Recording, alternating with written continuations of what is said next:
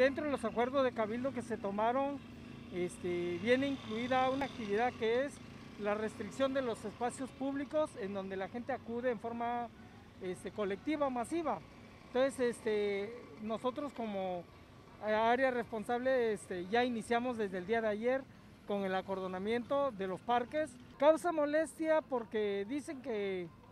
que pues ellos quieren estar eh, sentados, estar ubicados en una sombra, bajo un árbol.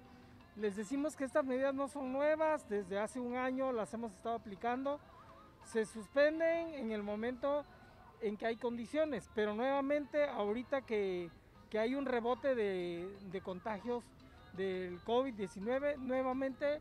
se toman las medidas restrictivas y estamos en el proceso nuevamente de que la gente otra vez volvamos a entrar a ese ritmo de vida, de, de vivir un poquito más este, encerrados en nuestros hogares. Nosotros este, permanentemente estamos monitoreando lo que es el primer cuadro de la ciudad precisamente por eso, porque como hay más personas, entonces la gente no nada más este, lo rompe la gente que quiere entrar a sentarse, sino la gente que va pasando por